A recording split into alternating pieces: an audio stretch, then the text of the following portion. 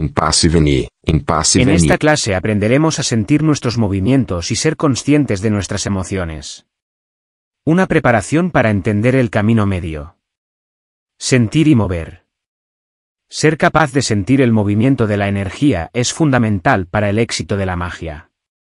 A diferencia de la vista y el oído, que asociamos con órganos específicos, ojos y oídos, el tacto es una sensación que experimentamos con todo el cuerpo. Nuestra piel registra el impacto y la frecuencia de los sonidos, haciendo que todo el cuerpo participe del acto de escuchar. Y así como la energía se mueve dentro y alrededor de nosotros, también movemos energía cuando nos movemos en el espacio físico. El tacto es el más complicado de los sentidos. Ejercicio 26.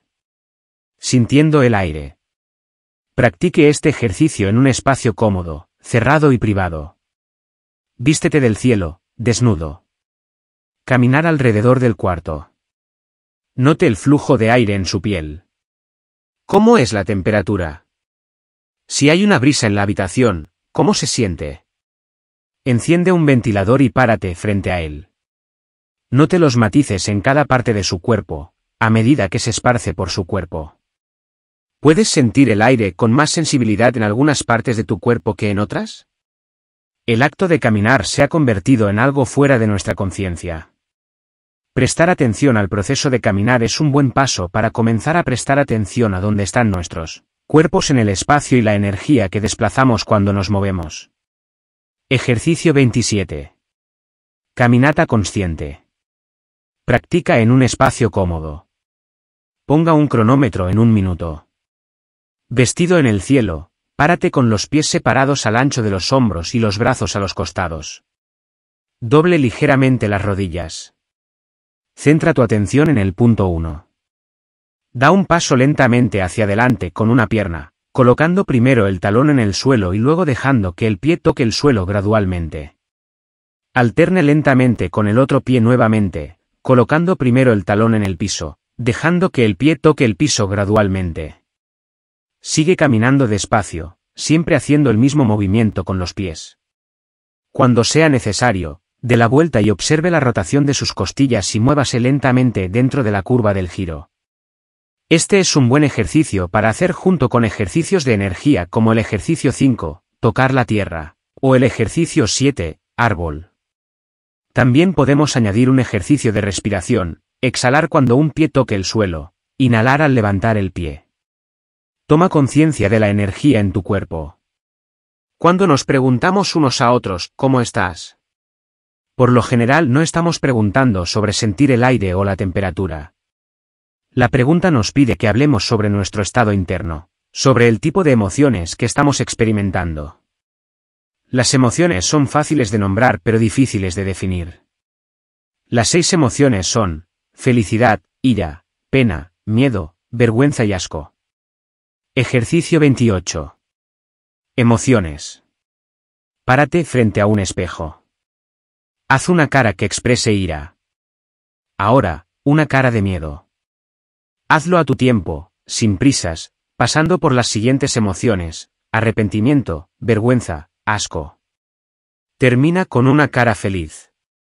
Una cosa que puede notar es que cuando hace una mueca, se encuentra sintiendo la emoción. La expresión facial es un desencadenante. A medida que nuestras emociones se vuelven más complejas, las asociamos con muchos factores desencadenantes. Las emociones también se expresan en sensaciones internas. Algunos de ellos se basan en el lado físico. Por ejemplo, el miedo libera adrenalina, haciendo temblar el cuerpo. Algunos de ellos también se aprenden. Muchas personas comparten sentimientos similares, pero hay sensaciones que son únicas para cada uno de nosotros, que aprendemos a asociar con emociones individuales. Tenga en cuenta que las sensaciones físicas pueden ayudar a identificar los sentimientos asociados con ellas. Ejercicio 29.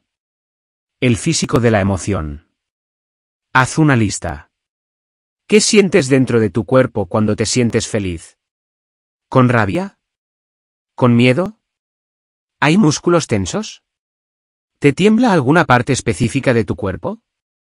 ¿Caliente o frío? Cuando está enojado, puedes sentir un nudo en el estómago o calor. Descubres que cuando prestas atención conscientemente a lo que sientes, te vuelves más sensible a los matices emocionales. Saber lo que estamos sintiendo es el primer paso hacia la magia y la disciplina de la emoción. Los practicantes de magia ejercen el control emocional en la vida diaria, eligiendo cuándo expresar emociones y cuándo abstenerse de hacerlo. Un buen ejemplo es cuando te insultan como hijo de P almohadilla por ciento, tienes que tener en cuenta lo siguiente. O tu madre es una P almohadilla por ciento y no debes ofenderte por eso o tu madre no es una P almohadilla por ciento y P almohadilla por ciento y eso no debería importarte. Simples así. El mago debe saber cómo usar sus emociones. Es posible que no tengamos opciones sobre qué emoción experimentamos para un desencadenante determinado, pero sí podemos elegir cómo lo demostraremos. Cuando nos encontramos abrumados por las emociones, podemos conectarlas a tierra de la misma manera que conectamos nuestra energía. Ejercicio 30. Poner a tierra las emociones. Cierra los ojos. Visualízate lleno y rodeado de energía. Tiene calor, la temperatura y la textura de la emoción que estás sintiendo, ira roja y caliente, frío miedo azul.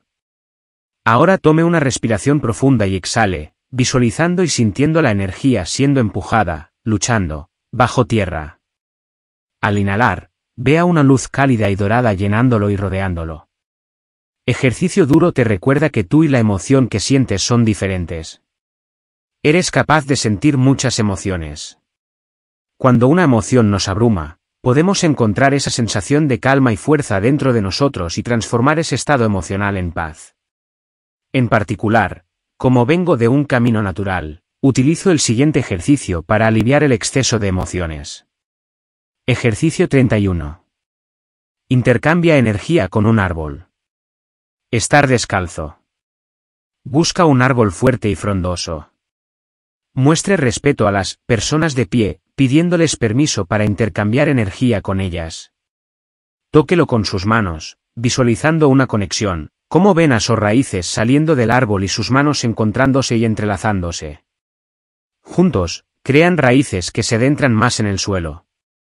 Visualiza una energía en forma de luz subiendo desde las raíces del árbol, yendo al tronco y penetrando en tus manos, empujando una energía oscura, tuya, que desciende a través de tus pies hacia la tierra. Hazlo siempre que lo necesites, pero no abuses del mismo árbol, porque con el tiempo puede morir, ya que le estarás robando energía y no tendrá tiempo de reponerla. A medida que practiques este ejercicio, notarás que sentirás un sutil sabor a savia en la boca, pero no te preocupes, esto es normal.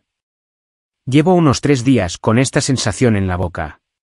Junto con el control de las emociones que experimentamos en nuestra vida diaria, a menudo se les pide a los practicantes de magia que produzcan una emoción específica en un ritual. Tal emoción es a menudo entusiasmo o pasión.